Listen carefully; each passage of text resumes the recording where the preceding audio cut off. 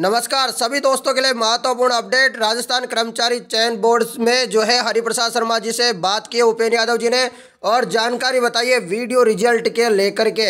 इन्होंने क्या जानकारी दी है? पूरी जानकारी आपको बता देता हूँ। आज ही उन्होंने बात की है उपेन्द्र यादव जी ने। तो देखिए दोस्तों उपेन्द्र यादव जी ने यहाँ पर ट्वीट करके बहुत सारी भर्तियों की जानकारी दी है। इन्होंने कहा है कि प्रयोगशाला सहायक भर्ती दो हज़ार अठारह चिकित्सा विभाग से फाइनल परिणाम का कार्य पूरा हो चुका है। फाइनल परिणाम जारी हो सकता है। इस भर्ती के कार्य को सफलतापूर्वक अंजाम देने के लिए मुकुल शर्मा जी का बहुत बहुत आभार एवं धन्यवाद। आज कल में कभी भी अभ्यर्थियों को कुछ खबरें मिल सकती है, जो प्रयोगशाला सहायक भर्ती दो हज़ार अठारह उसके कभी भी स्वायत्त मिल सकती है। यहाँ पर ये अपडेट इन्होंने उपेन्द्र यादव जी ने दी है, जो कि आप देख सकते हैं।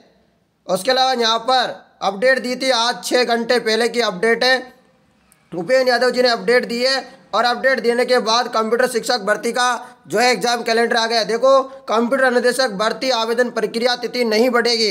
बहुत सारे विद्यार्थी बोल रहे थे कि, सर, हमें परेशानी आ रही है, परीक्षा तिथि बढ़नी चाहिए। मतलब ये, इसकी एग्ज़ाम फॉर्म भरने की डेट बढ़नी चाहिए, पर नहीं बढ़ी। ठीक है? और जल्दी परीक्षा तिथि घोषित होगी तो आज ही परीक्षा तिथि घोषित हो गई है। और यहाँ पर चेयरमैन हरिप्रसाद शर्मा जी ने ग्राम विकास अधिकारी भर्ती का परिणाम इसी महीने में जारी करने की पूरी संभावना बताई है। उन्होंने कहा है कि इसी महीने में परिणाम जारी कर दिया जाएगा और परिणाम आपके होली के आसपास आ जाएगा। ये उपेंद्र यादव जी ने यहाँ पर अपडेट दिया था। आज ही की अपडेट है। देख सकते हैं ये अपडेट। ठीक है? देख सकते हैं यहाँ पर ये अपडेट है जो कि उपेंद्र यादव जी ने आज दी है।